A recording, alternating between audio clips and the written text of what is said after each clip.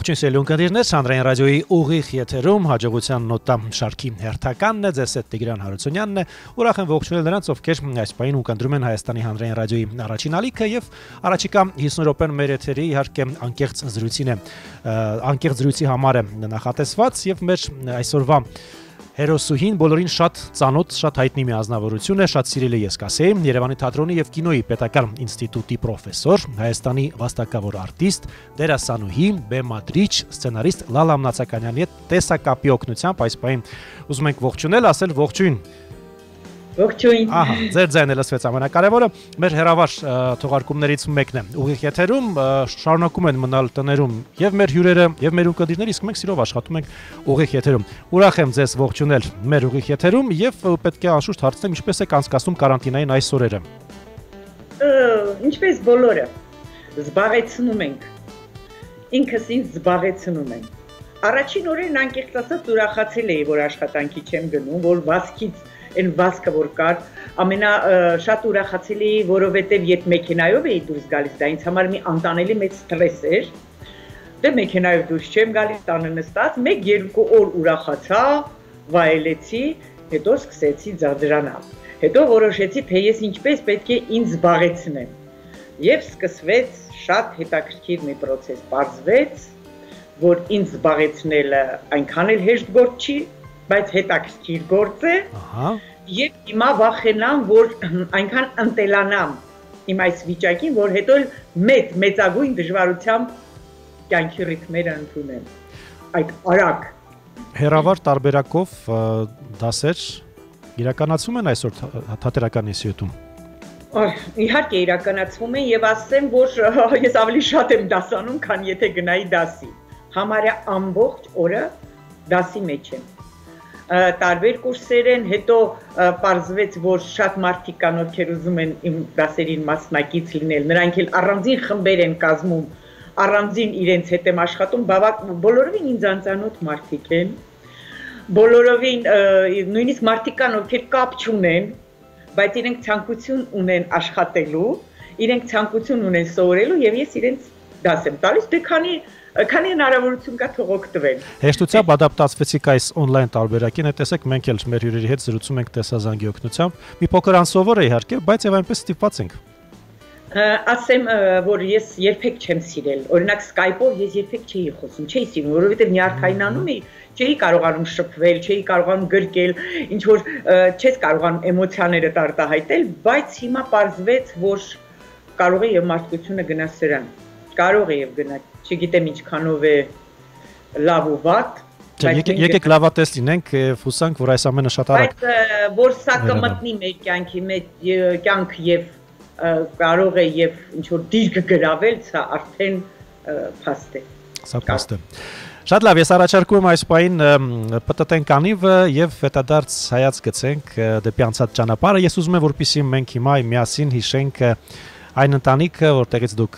սերել եք, բոլորը գիտեն, որ ձեր մայրիկը դերասանուհի, նաև բեմական խոսքի մասնագետ Էլիզա Գյուլասերյանն է։ Եվ իհարկե հայրիկին ենք հիշում, մաթեմատիկոս հայրիկին, ինչպես դուք եք ձեր բազմաթիվ հարցազրույցներում պատմել դրա մասին, հումորի մեծ զգացում ունեցող մի անznավորություն եւ ումից էլ նաև փոխանցվել է հումորի այն զգացումը, որ մինչ այսօր դուք ունեք եւ այն ժպիտը գուցեև եւ ինչպես դուք եք նշել ձեր հարցազրույցներից մեկում, աստորեն 3 դուստրերից երկուսին հաջողվեց։ Մայրիկը կարողացավ յետ պահել բեմից, բայց ձեզ չհաջողվեց։ Այո, ինձ չհաջողվեց եւ ասեմ հումորը, որ իմ հայրը իսկապես շատ լավ հումոր ուներ, բայց մայրս էլ հումորի ընկալումն էր շատ բարձր։ Այսինքն նրանք գտել էին իրար։ Մեկը որ հումոր էր անում, մյուսը այդ հումորը գնահատում էր։ Եվ բնականաբար, երբ քո հումորը գնահատվում է, դու ավելի ես այդ դաշտը մեծացնում մեծացել եմ շատ ուրախ, շատ առողջ եւ շատ լավ ընտանիքում, շատ լավ ընտանիքում, շատ իրար մենք սիրում էինք եւ իրար հետ շատ կապված էինք։ Մենք իրար հետ անում էինք ընկերություն։ Այս սա շատ կարեւոր է։ Եվ ես հասկացել եմ, որ այն զավակներ, այն երեխաներ, ովքեր փոքր ժամանակ իրար հետ ընկերություն են անում, իսկ ընկերության մեջ անպայման մտնում է իրար ծեծելը, իրարից նեղանալը, չէ՞, անպայման իրար հետ կռվելը, իրար հետ մի կտոր հաց կիսելը, եւ մեր ծնողները միշտ մի բան էին սովորեցնում, միշտ էր մեր տանը. երբեք չուտես, եթե գիտես քո քույրը քո քույրը սոված է։ Միշտ իմացիր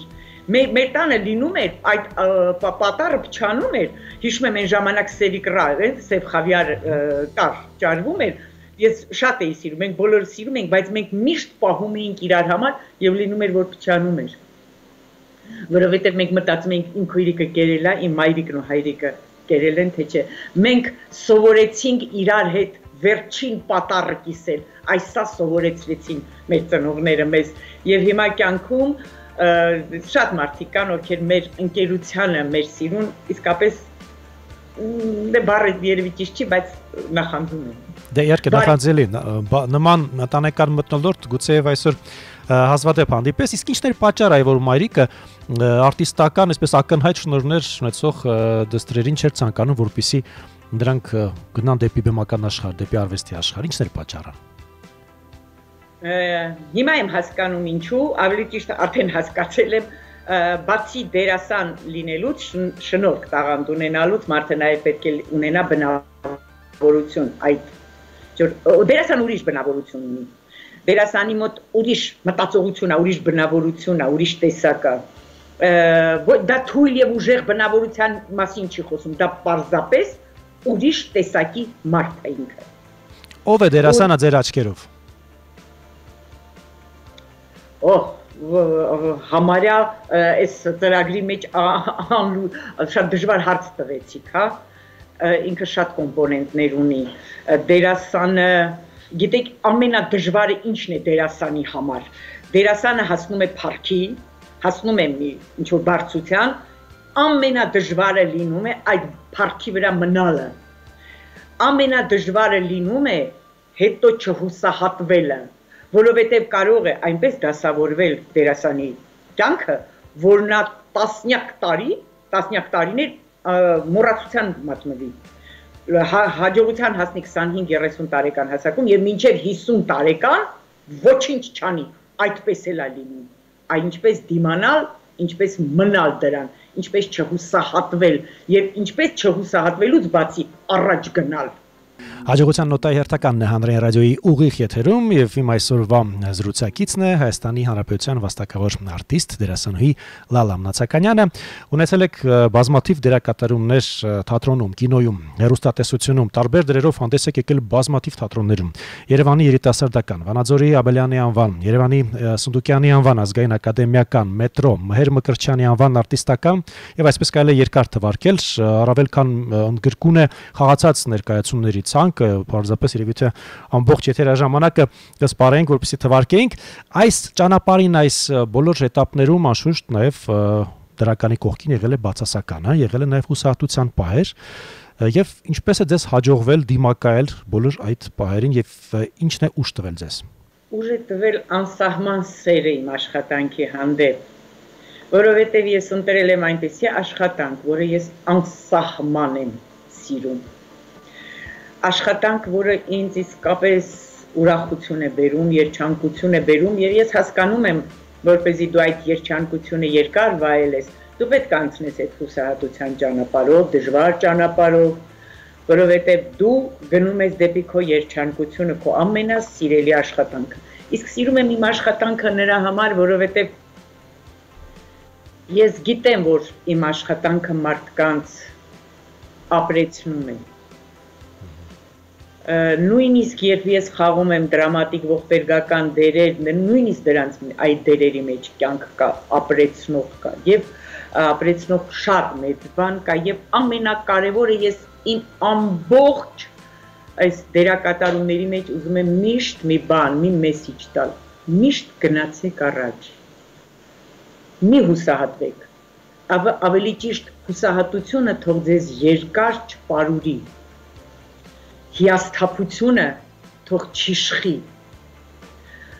միշտ ոդքի կանգնեք եւ միշտ գնացեք առաջ։ Մենք ծնվել ենք, որպեսզի գնանք առաջ եւ բարձրանանք եւ ապրենք երջանիկ, ոչ թե ապրենք հուսահատված, ոչ թե ապրենք հիասթափված, ոչ թե մեզ կանք հիվանդ ու դժբախտ, ոչ։ Ես միշտ այս նշանաբանով եմ հանդես գալիս։ Մարդը ծնվել է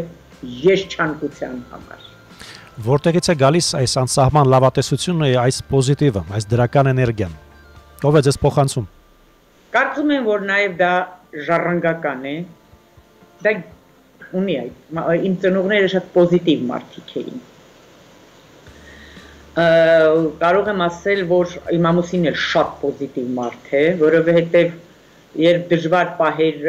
եղել են ինքը շատ նենց անտարբեր տոնով, նենց երջանիկ տոնով ասել, հա ինչ անենք, կանցնի, լավ է լինելու։ Այսինքն այն ընտանիքը, որտեղ ես ծնվել մեծացել եմ եւ հետո էստաֆետը մտել եմ այս ընտանիք, այսինքն այդ պոզիտիվը շարունակվել է։ Եվ իհարկե պոզիտիվը գալիս է նաև նրանից, երբ մարդը շատ մեծ դժվարությունների է հանդիպում։ Ամենադժվարը գիտեք որն է, երբ առաջին դժվարությունը դու կարողանում ես հաղթահարել։ Եթե հաղթահարեցիր, մնացած դժվարությունները վախ չեն պատճառի քեզ։ Դու կհասկանաս, որ դու դրանք կհաղթահարես։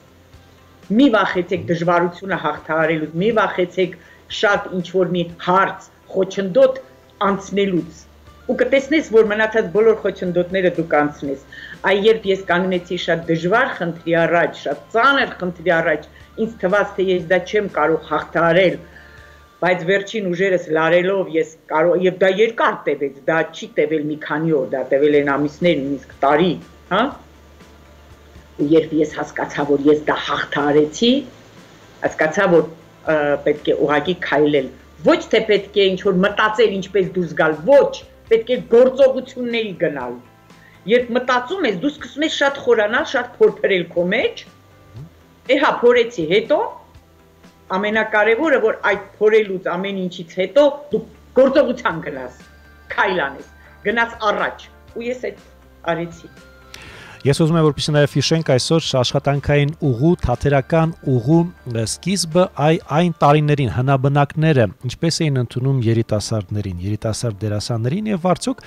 այնպես բարյացկամ ինչպես դուք եք այսօր ձեր ուսանողների հետ։ Ինչպիսի մտնոլորտ էր։ Անկեղծ ասեմ, վատ մտնոլորտ էր։ Շատ վատ էին ընդունում։ Հակառակը իրենք վատ չէ, իրենք ընդհանրապես չէին էլ ընդունում։ Մանավանդ եթե շնորհքով մարդ գար, բավական երկար ճանապարհը կփակեին։ Դրա համար, քանի որ ես անցա այդ փորձության միջով,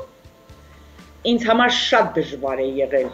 Իրենք շատ-շատ են փակ, իմ ճանապարհները շատ են փակվել, բայց ես հիմա շատ շնորհակալ եմ։ Ես այն ժամանակ էի դժգոհում։ Հիմա բացարձակ, եթե իրենք այդ ճանապարհները իմ չփակեին, ես հիմա երևի ուրիշ հարթության վրա լինեի իրենց իրենց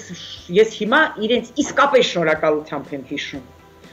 եւ քանի որ իմ ճանապարհը փակվում էր ես իմ մեջ որոշում կայացրեցի որ ես ամեն ինչ եմ անելու իմ ուսանողների համար նրանց ճանապարհը ամեն դեպքում ես նրանց թրջել սովորեցնելու եմ մնացածը իրենց գործն է առաջին այդ թռիչքի հնարավորությունը ես իրենց տալու եմ եւ չկան համարյա ուսանողներ որտեղ ես մտել եմ բեմական խոսք եմ դասավանդել, ում որոնց համար ես ներկայացում չանեմ, չնկարեմ իմ ֆիլմերում, չխաղամ, ես նրանց հետ բեմ եմ բարձրանում։ Միշտ այդ հնարավորությունը ես տալիս եմ։ Ես ուզում եմ, որ իրենք այդ վախը բեմի հանդեպ այդ անվստահությունը կոտրեն, հետո մնացածը իրենց որոշելիքն է բայց կարելի ասել որ դուք առաջիններից եք երբ երիտասարդի հետ միասին կողք կողքի բարձրացակ բեմ եւ հնարավորություն տվեցիք նրանց եւս իրենց վստահ զգալու արդեն կայացած դերասանի կողքին Ես ասեմ, որ այո, առաջինն էի, որովհետև դա նույն նույնիսկ շատ նշվեց, որ ես ուսանողների հետ ես նույնիսկ տարա տարա տարա այդ ներկայացումները փառատոնների եւ հաղթեցինք եւ խաղացինք եւ տարիներ շարունակ իրենք եղել են ուսանողներ եւ ասեմ եթե փոխվում էր դերակատարը էլի գալիս էր ուսանող ես ուսանողների հետ եմ բեմ բարձրացել եւ ես գտնում եմ որ այդ այո այդ տրադիցիան ես շարունակելու եմ ու անելու եմ որովհետեւ ուրիշ բան է երբ դու բարձրանում ես բեմ մի մարդու հետ ում դու սիրում հարգում ես ով փորձ ունի եւ բավական չէ նա թիկունքիդ կանգնած է եթե ժամանակին ինձ հետ էլ այդպես վարվեին Չգիտեմ, կարող է եւ լավ չլիներ, ավելի չեմ կարող ասել։ Ծնողներից ձեզ փոխանցվել է այն ասահման բարությունը, ներողամտությունը մարդկանց հանդեպ եւ առհասարակ չչարանալու այդ շնորը, ինչպես դուք եք ասում, նախանց ճունեք համարյա։ Այո, դա էլ է ժառանգական։ որովհետև եթե ունենայի, շատ դժվար կքչացնեի։ Հիմա ինքը արդեն մինիմումի է հասնում, որովհետև նաև հասկացել եմ ասում եմ ինչպես ասում եմ ես 40 տարվա մանկավարժ եմ եւ մի բարձ ճշմարտություն գիտեմ որ նախանձը գալիս է երբ դու որոշում ես քեզ համեմատել ուրիշի հետ բայց մենք չենք հասկանում որ հենց մեր հաջողության գրավականը նաեւ այն է որ ոչ մեկի հետ պետք չի քեզ համեմատել դու ընդամենը կարող ես ինքդ քեզ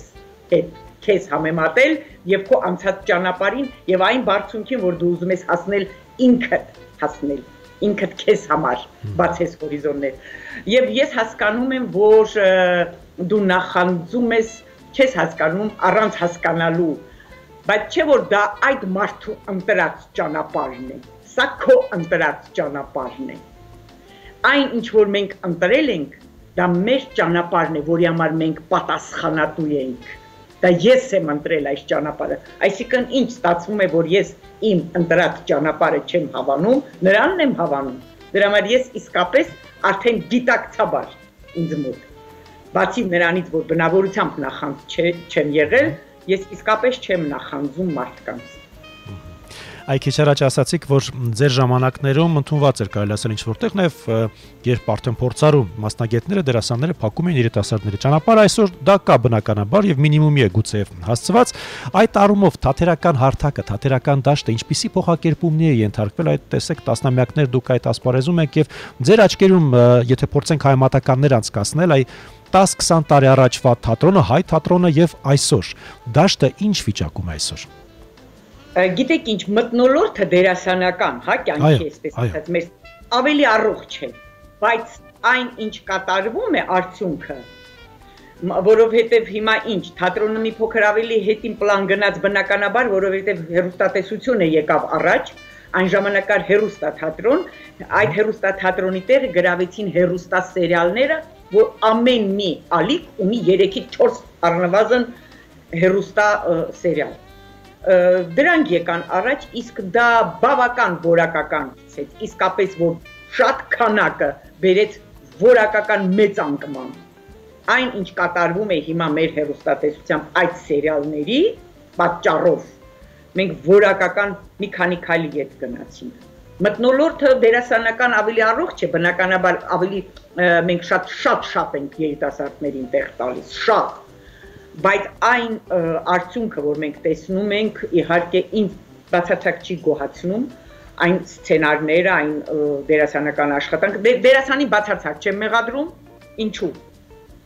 Ավելի ճիշտ քիչ է մեղադրում, որովհետև նա անում է այն արտադրանք, իսկ նրան մատուցում է։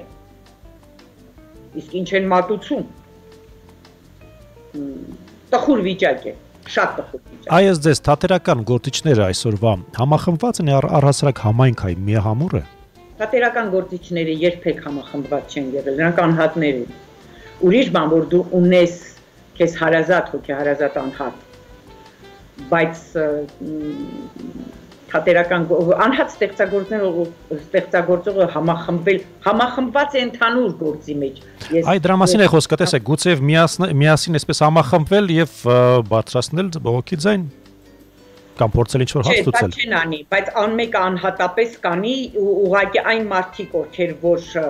ինչ որ մի բան առաջարկում են եւ ես համամիտ եմ, ես միանում եմ բայց որ դա կարող ենք մենք ինչ որ համախմբվել, ոչ, դա ցույց տվեց փորձը չի լինում այդպես բայց ունեմ համախոհներ, որոնց հետ այո, ես ունեմ համախոհներ, որոնց հետ ես միասին, եթե պետք լինի, մենք կգնանք մի քանի հոգով։ Այ քիչ առաջ նշեցիք, որ դուք երբեք չեք փորձել մեղադրել ինչ որ մեկին ընտրած ճանապարհի համար, դժվարությունների համար, չէ՞ որ դա ձեր ճանապարհն է, դուք եք ընտրել։ Գուցե դա էր պատճառը, որ այն դժվարին տարիներին դուք չլքեցիք երկիրը եւ շարունակեցիք դիմակայել արկա դժվարություններին եւ մնացիք ու շարունակեցիք ստեղծագործել հայրենիքում այստեղ Հայաստանում։ Գիտեք ինչ, չլքեցի երկիրը, որ դժվարությունների դիմանամ, չէ, ես այդպես չեմ հիմա մտածում։ Բայց շատ շատերը գնացին, չմնացին։ Ես ես չլքեցի երկիրը, որովհետև ես հասկացա մի բան, որ դու դու պետք է մնաս այնտեղ, որտեղ դու պետք ես։ Ես ինձ պիտանի զգացի այստեղ, որտեղ քեզ սպասում են, որ որտեղ քո խոսքը կշիռ եւ արժեք կունենա որտեղ դու կօգնես մարդկանց ինչ որ մի բանով բարելավել իրենց կյանքը։ Ես չգնացի ոչ թե որովհետև ես ուզում էի դժվարությունների ինչ որ դիմակայել բացարձակ, այդպեսի հերոսություն չկար իմ մեջ։ Իմ մեջ կար միայն մի բան, որ ես պետք է լինեմ այնտեղ, որտեղ ես մարդկանց պետք եմ ունենալով նաև բազմաթիվ հաջողություններ նաև երկրից դուրս, այ գիտենք որ նաև խաղացել եք ռուսական հանդիսատեսի ռուս հանդիսատեսի առաջ Մոսկվայում, Ջիգարխանյանի թատրոնում եւ ոչ միայն Եվ ասեմ որ առաջարկներ եղել են։ Եղել են առաջարկներ, բայց չգիտեմ ինչ որ ներքին ձայնը ոչ թե ասում էր որ դու հայրենիքդ պետք չէ։ Ես ուղղակի ներքու զգում էի որ ես այստեղ իմ կարիք ավելի շատ կզգացվի, քան այնտեղ։ Իսկ գուցեև դրսում շատ ավելի գնահատված լինեիք, ինչ եք, չեք մտածել այդ մասին, ինչ եք կարծում։ Գուցե ճանապարհը մեկ այլ կերպ դասավորվեր։ Ես կարծում եմ, որ մարդը, գիտեք, ի վերջո մենք բոլորս ապրում ենք, որպեսզի գնահատվենք։ Դա շատ կարևոր է։ Մենք ինչ անում ենք, մենք գնահատականի համար ենք անում։ Բայց երևի իմ ներքին գնահատականը այն էր, որ եթե ես մարդուն պետք եմ եւ նրա կյանքը մի փոքր ինչ որ մի բանով ավելի լավացնում եմ այդ գնահատականը։ Երբ մարդը քեզ քեզ ես չեմ կարող դժգոհել գնահատականից։ Ինձ իսկապես շատ շատ լավ խոսքեր են միշտ ասել։ Տեսեք, բեմի մարդը ունի մի քանի գնահատականներ, մի քանի տարբերակներ։ Առաջինը բնականաբար ծափարություններն են, որոնք հնչում են դահլիճում յուրաքանչյուր ներկայացումից հետո։ Գնահատականի մյուս տեսակը կոչումներն են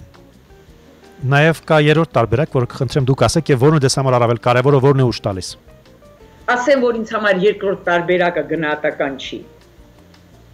Կոչումները։ Դա սովետական հնարած բան ինձ համար։ Ես ավելի գտնում եմ, որ ֆիլմը արժանանում է համընդհանուր սիրուն, ինձ համար դա ավելի բարձր բան է, քան կոչումները։ Դուք գիտեք ինչքան կոչում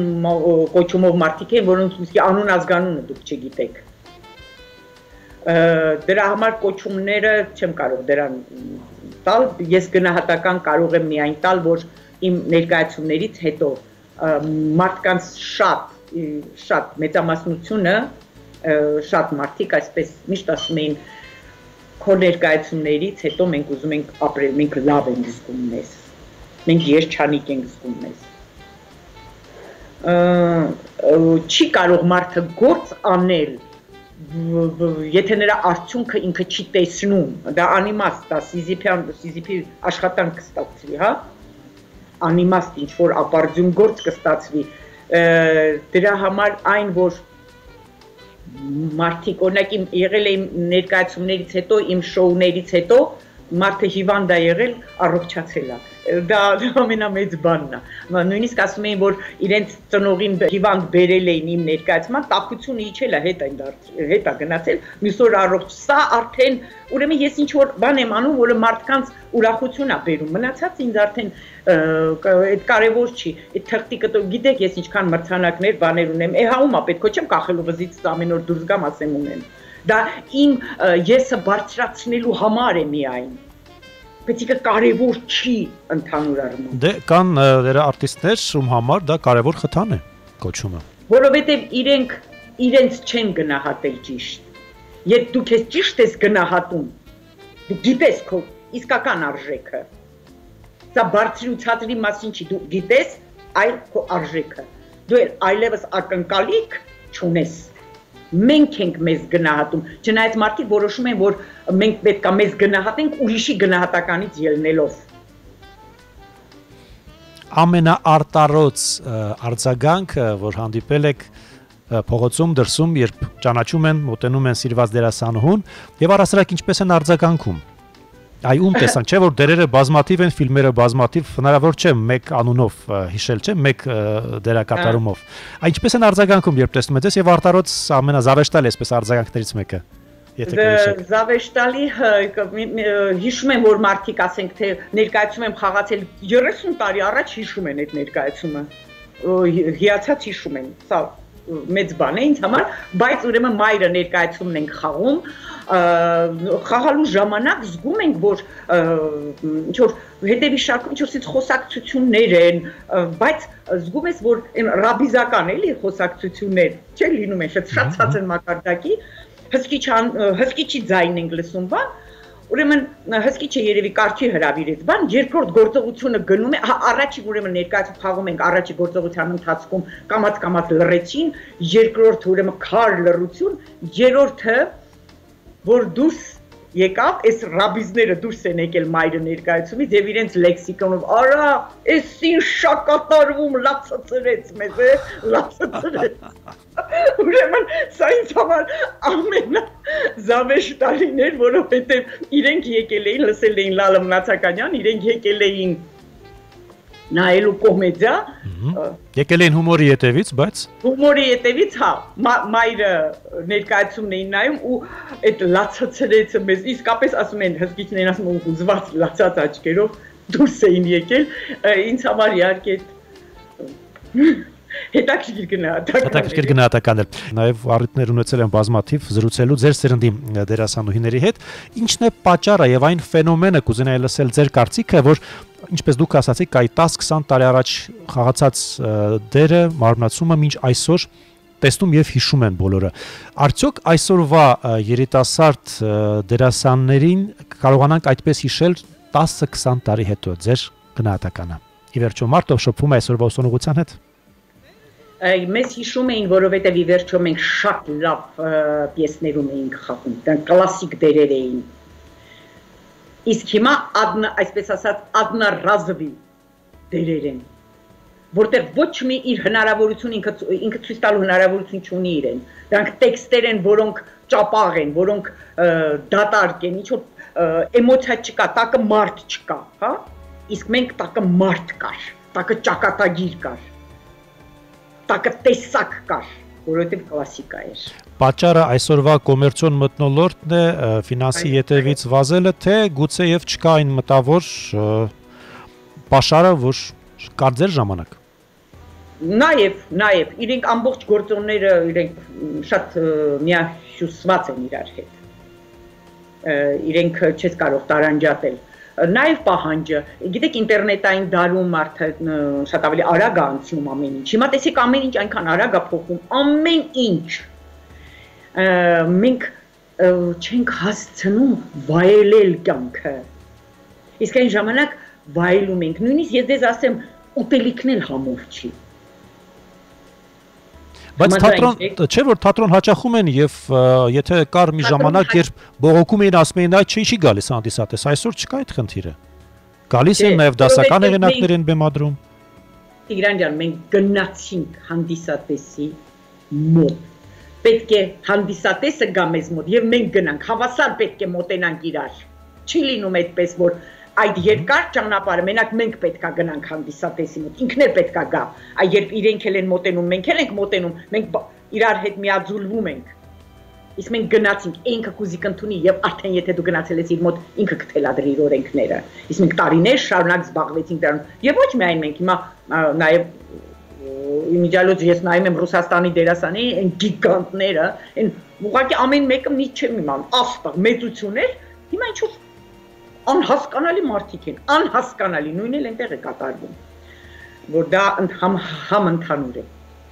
50 րոպեի ընթացքում անդրադառնալ բոլոր հաջողության նոտաներին Լալաբնացականյանի իհարկե անհնար է. թատրոն, կինո, հերոստատեսություն, բազմաթիվ դերեր, նաև որպես ռեժիսոր, բեմադրիչ, այս ամենի մեջ եթե այսպես փորձենք գլոբալ դիտարկել, ինչ չի արել Լալա Մացականյանը, որ կցանկանար ու դեռ չի հասցրել։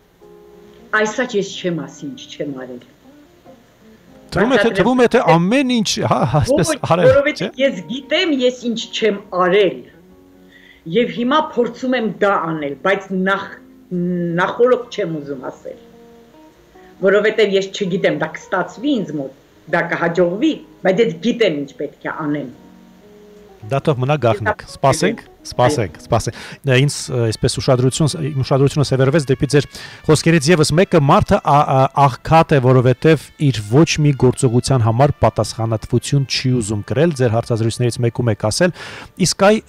հասարակության դերը այս ամենի մեջ որտեղ եք տեսնում։ Չէ՞ որ շատ հաճախ մենք ապրում ենք ինչ որտեղ նաեւ այ հասարակության կարծիքի համար, որ այս այսպես կտեսնեն, սխալ կհասկանան, մարդը այն այնքան էլ աղքատ ու ազատ չէ այս առումով։ Ինչ կասեք։ Գիտեք ինչ, հասարակությունը ինքը շատ բան է, абստրակտ հասկացողություն է, որ ասում ենք հասարակությունը ինչ ենք հասկանում, դրանք անհատներ են, դրանք մարդիկ են։ Ասում են, եթե դու ստիպես ամբողջ մարդկությանը հավատալ, որ երկրագունդը կլոր չի, այլ տափակ է, ապա երկրագունդը հենց տափակել կլինի սա սա այն է որ մենք նաև անհատները այն մարդիկ ովքեր շատ բան հասկանում են արդեն կարող են նրանք կարող են նաև ուղղորդել հասարակության նրանք կարող են նաև տանել մարդկանց իրենց յետևից այո ես գտնում եմ որ իսկ պատասխանատու գիտեք որն է այն ինչ կատարվում է իմ կյանքում ինձ հետ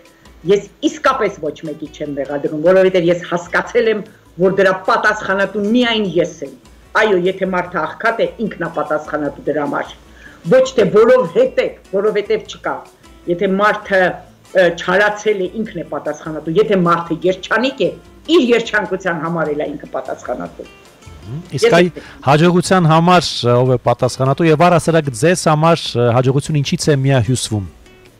Հաջողությունը ինձ համար դա այն է, երբ դու ունես սրտի, մտքի եւ հոգու ներդաշնակություն։